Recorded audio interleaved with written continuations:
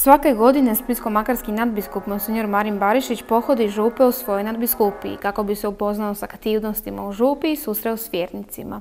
Ove godine tako je u sklopu pastrijskih pohoda boravio u župama katedralnog i konkatedralnog dekanata. Tako je bilo i u petak 22. ožujka u župi Svetog Pavla Apostola na Pujankama u Splitu. U prepunoj žutnoj crkvi najprije je održana pobožnost križnog puta. Tom je prigodom nadbiskup blagoslovio nove postaje koje je izradio slikar Mladen Divković, poznat po svojim radovima o arhitektonskoj i kulturnoj baštini.